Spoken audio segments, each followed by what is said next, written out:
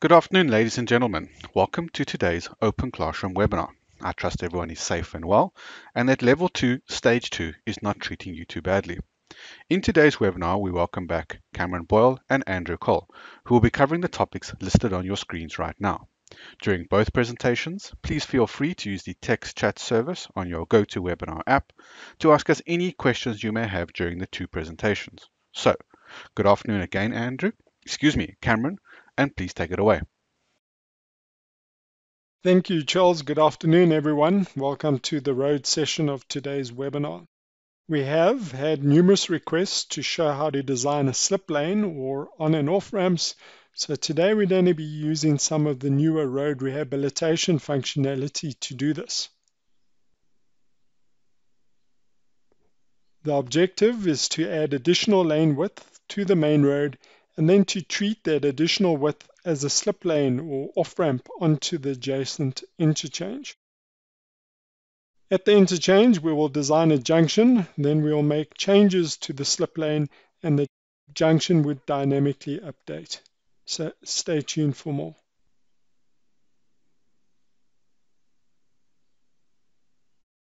Looking at the extent of this, we then put in the new road on the left-hand side here, right next to the main road. Then moving up the road, we then go and put in PI number one over here. And then moving further up, we then going to end the road over here, close to the interchange. Let's start off by going to File, select Road File, and let's use road number 20. Giving it a name, let's call it Slip Lane. We then generate it as a string road and then selecting which template to use. This particular template will have no right-hand side information because we want it right up against the main road. You'll see there's no curb on the right-hand side. Starting off, we go to Alignment, Horizontal Graphical Insert, or you can press F5 on your keyboard specifying the start point and calling the PI start. You have the option to use this start stake line extraction from CAD. You can either use it now or you can use it at a later stage when I show you the spreadsheet. I'm going to use it in the spreadsheet format because I want to go into more detail putting in PI number one and using the main road's left edge as a reference.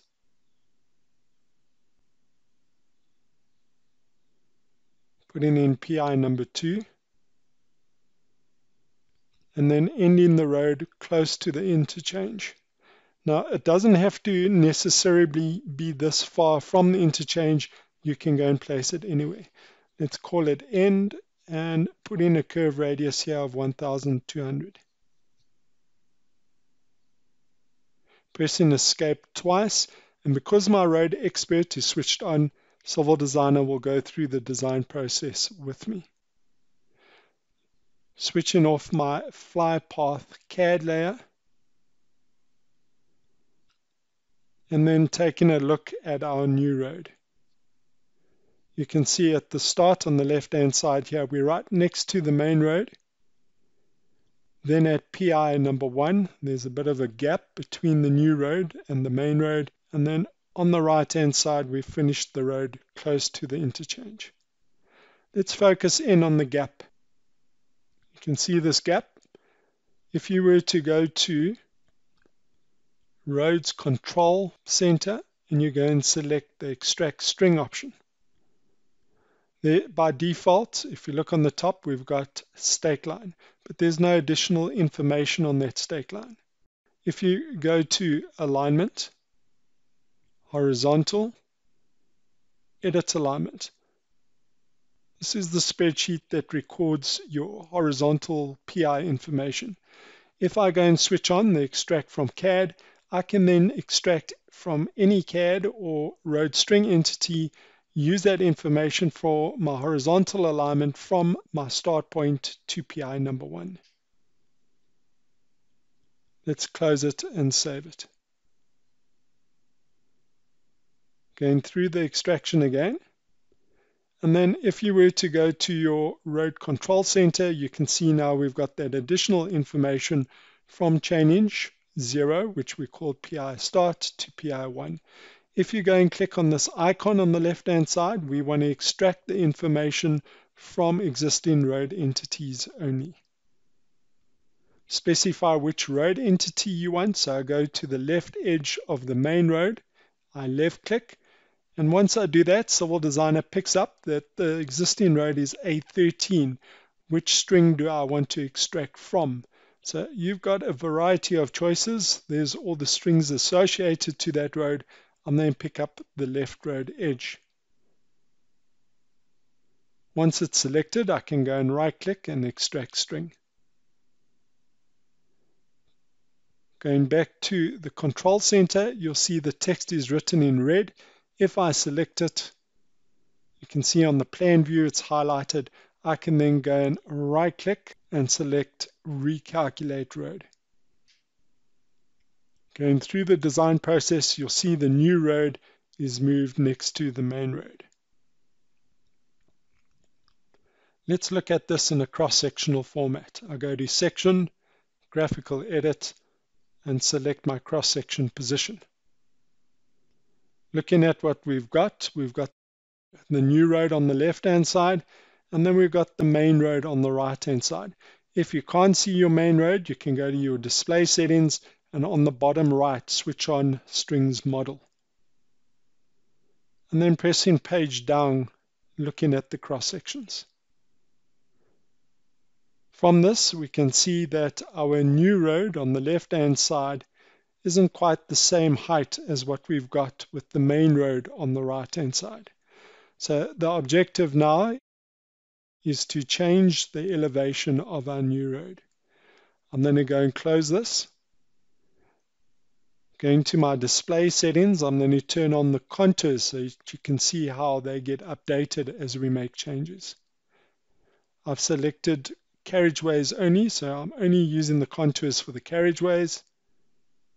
There you can see they've been updated.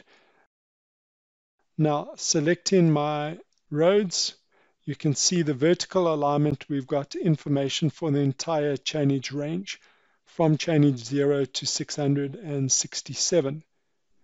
Selecting the road and then right clicking and selecting road operations vertical alignment.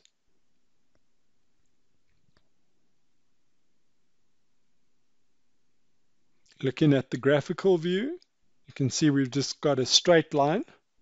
If I move this up and I place my cursor on the vertical alignment or the long section, you can see there's a cross on the plan.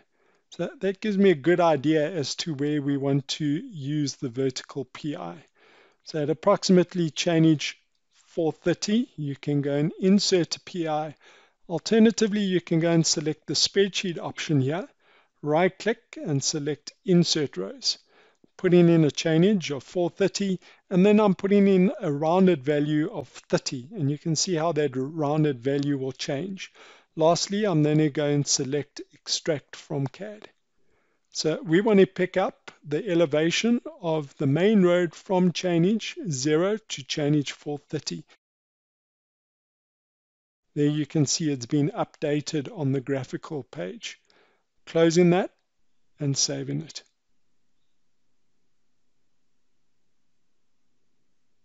Can see the contours haven't quite been updated yet, so we still need to go to our control panel, go and select the icon on the left-hand side from change 0 to change 430. Target entities, we're going to use the road entities only and then we then select the height options from entities. Click on OK. Select the main road's left edge. Again, all the strings associated with that road is picked up. Click on Select. Right click and select Extract.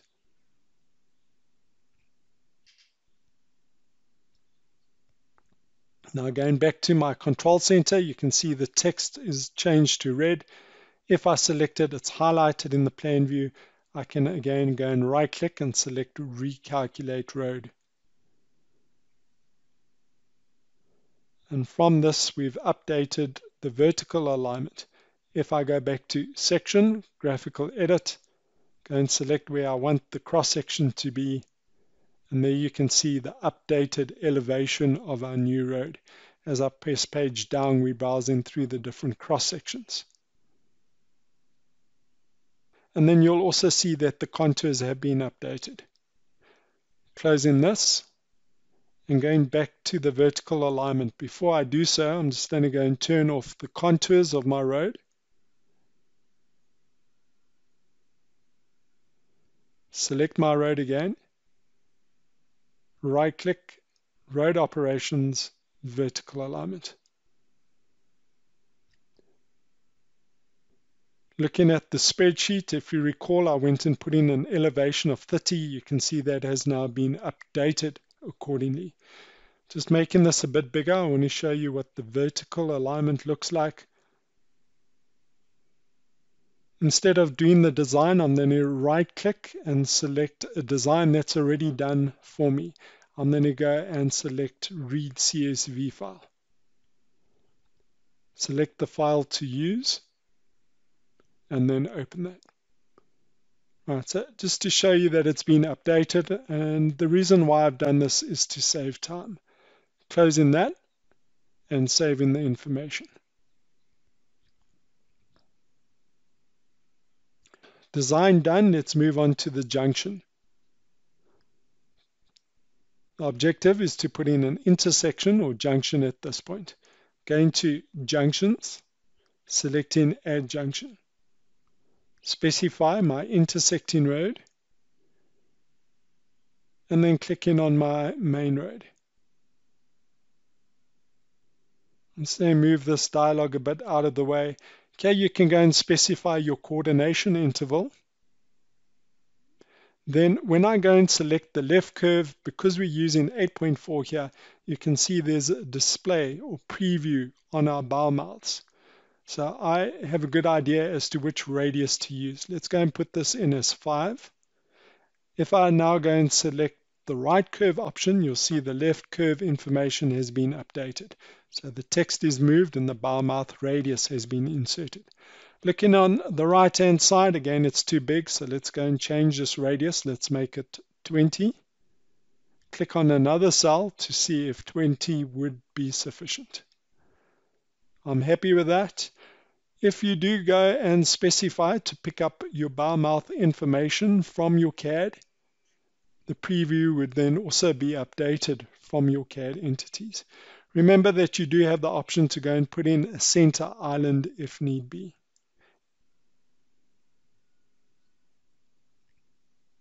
Going through the design process, looking at the output bar on the right hand side, you can see that the information is being updated. So all my coordinates are listed. And you can see the junction has been updated. The next objective here is to make changes to our, new road and then I'll come back to the junction and you can see how the junction has been updated. Changing my view, then going to alignment, edge levels, and using the insert edge width point functionality. When I select this, the edge control appears. If I go and select spreadsheet, that is what my existing grades look like. If I select widths at the bottom, that's the current widths that we have. Now I'm going to go and make changes to that. So let's move this out the way. I'm going to make my plan view active. So I'm going to click there. And then reading my prompt, I can indicate position for width control point. So moving it to the right position, pressing J, enter. So you can see that the spreadsheet on the right hand side has been updated. Looking at the next spot, same thing, press J and enter.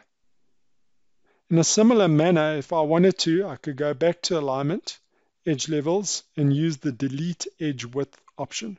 But I'm happy with this. I'm just going to update the last width on the left hand side and then I'm going to go and close the spreadsheet.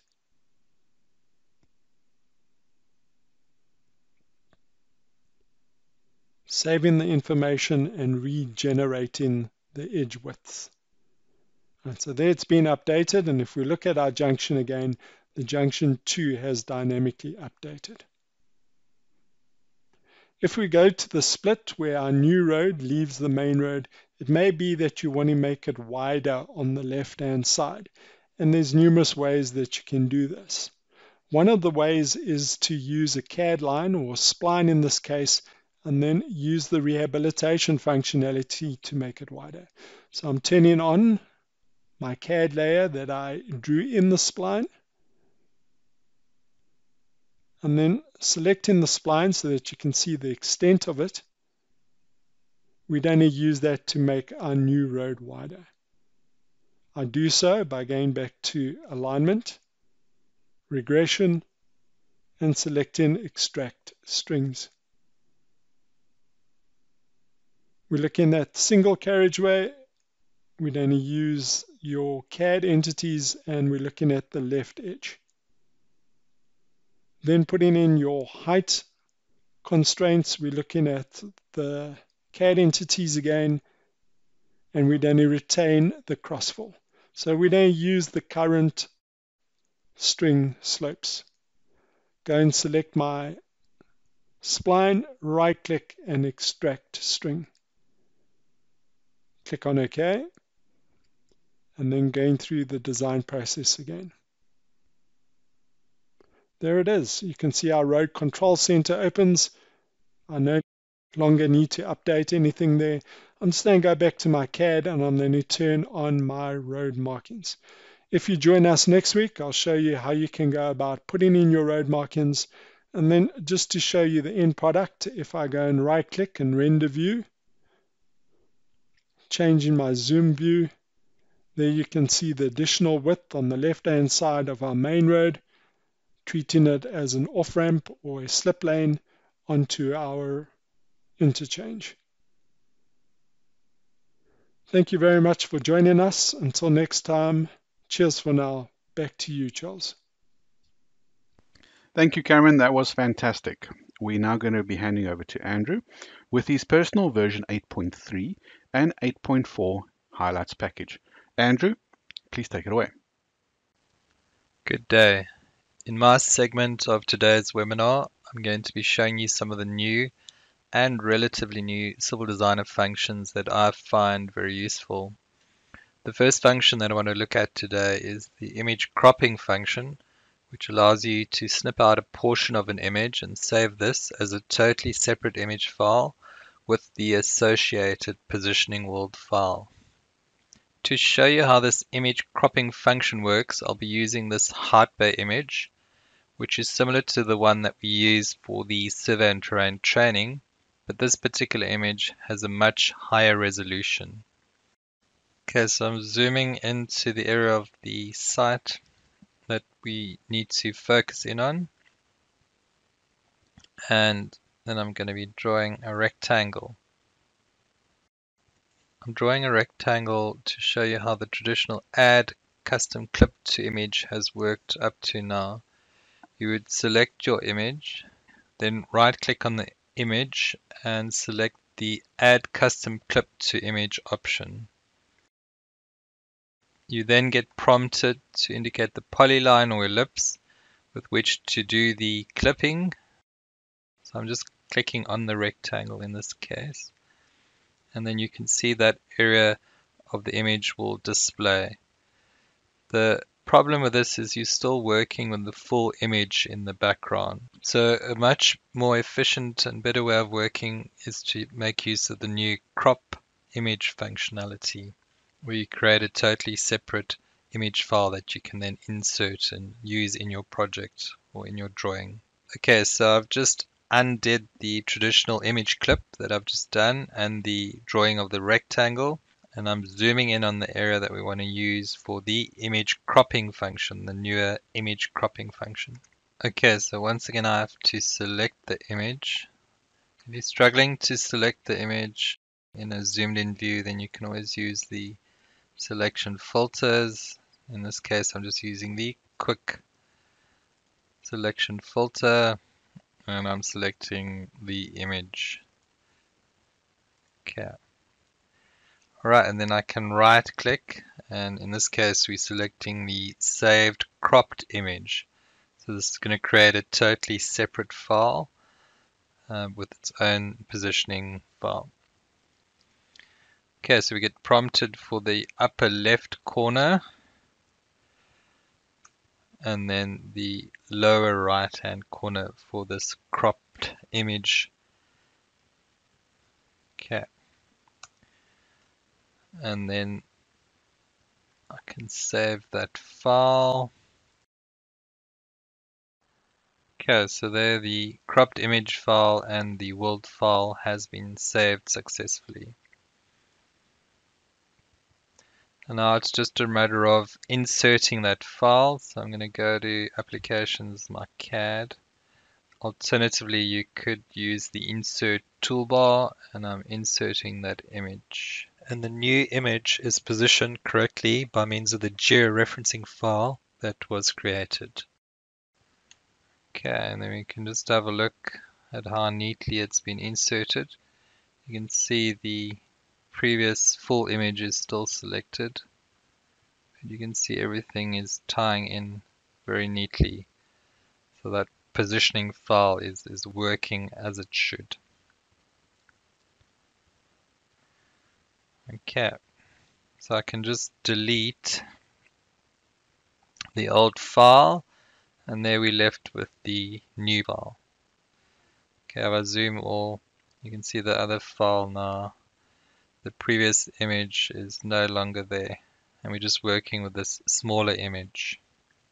If I open Windows Explorer just to show you those files, the initial file, if I look at the image properties, under the details you'll see it was 150 dpi horizontal and vertical resolution and now with the soccer field image that I just cropped if we look at those properties and the details, you'll see you don't lose any resolution. So you still have the 150 dpi horizontally and vertically.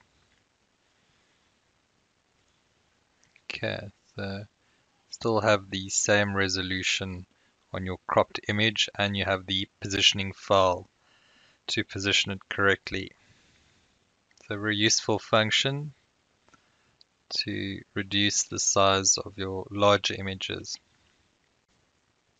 Okay, then moving on to the next new function, which is a function that I really like, and I'm sure anyone struggling to validate a terrain surface will really appreciate. This new function's in the terrain application, and it's this model remove invalid lines function, which will automatically check for and remove any invalid or crossing lines in your DTM surface. This is going to save you a lot of time when trying to validate your model. To show you how this function works, I have a project with a terrain surface that was created by translating some roads along with their intersections to a DTM surface. I'm firstly going to run the validate model just to check our surface for any errors. So just select the surface that you want to validate. And in this case, we have picked up a few errors. No perimeter could be found. So the tracking routine has stopped. Um, and if you click OK, we zoom into the area where the error first error was picked up. So there are some crossing lines in this particular instance which we need to then remove with that remove invalid lines. Generally you would delete the lines and add some new lines to fix an error like this. But if you've got a big surface this new remove invalid lines is going to save you time and effort by auto fixing all those issues. So I'm just going to zoom all. So we can run that uh, remove invalid lines on the whole site. And then it's model and remove invalid lines. Just select the surface that you want to work with. Okay, so now we can check model, validate model again. And after that removing of the invalid lines, you can see this line model has scanned successfully. Okay, so that's really going to save you lots of time and effort. Okay, then just S to refresh. Next up, I want to touch on the enhancements that have been made to the terrain strings functionality. A large part of the terrain strings development has been to make one terrain string see another terrain string. So there is no longer a need to translate your string to a DTM surface and merge surfaces when you want to tie into an existing string platform. So for this exercise, I've got an existing terrain string platform and I'm going to be designing two additional strings next to it. Okay, so I'm designing a new string using the string creation option, the strings menu, and string from polyline.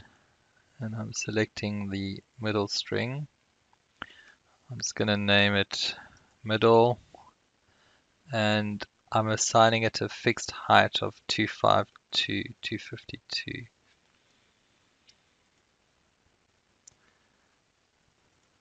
Okay, and then right click quit.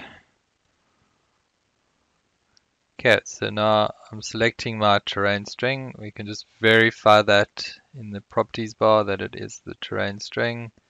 Elevation is 252.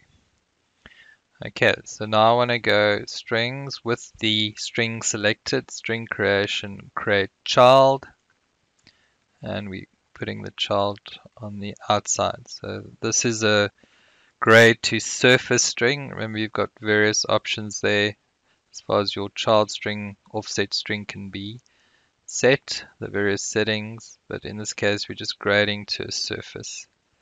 Okay, and in this case, I want to include the strings model in the grading. So it's, it's going to see the existing string when it ties in.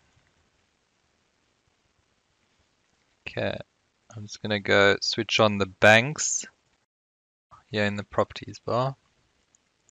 Okay, then I'm just going to do a render view so we can see how that ties in.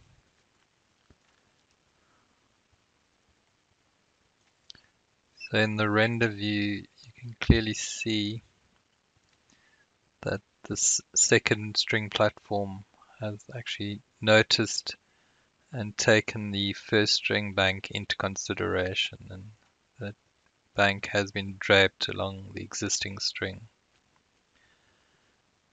Okay, I'm just going to escape out of the render view and then I'm going to design the next string platform. So this next string platform, I'm just going to drape on the ground and then also take that second middle string into consideration. So I'm going to use the strings, string creation, string from polyline option. In this case, these are just polylines, but it could also be normal CAD entities, or you could define your string graphically as well by just clicking along the desired path. Okay, so string from polyline, and this is just going to be my bottom string, and I'm interpolating it from the original ground surface. And I want to use the strings model for interpolation as well. Okay, so it's going to pick up the bank of that second middle string. And then if I just select the newly created string, you'll see all those vertices, the vertices all along your string with the levels that were interpolated. Okay, and then let's just have a look at that in the render view as well. Okay, so you can see it's been draped on the DTM surface, the main portion of the string. But in this section, where we've got an existing bank, it'll pick up the levels from the, the terrain string.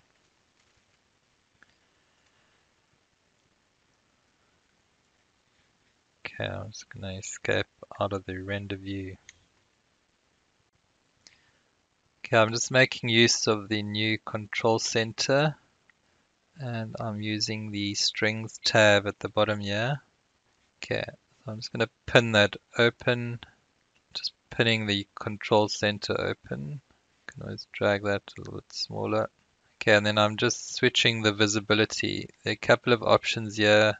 On a right click, you can select, delete, look at the properties, or show. But in this case, I'm just switching the visibility of my bottom platform off. As you can see, the control center allows you to switch the visibility of your design entities on and off without having to open the display setting. Okay, then I'm just changing to the road section of the control center. And then I'm switching on the visibility of this road of mine, uh, also strings road that was designed earlier. So what I'd like to show you in this case is that the platform string would also then see the road string and be able to interpolate or pick up levels from the road string. So I'm just going to go render view just to show you.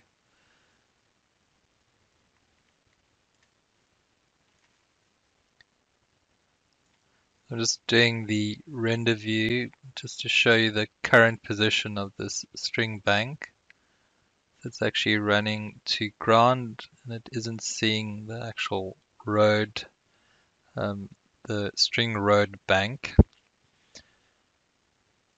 What I'm going to do then is just re-height that string. So if you want to reinterpolate the levels, you can go to the string editing and you can re-height a string. And in this case, we want to include the strings model for interpolation.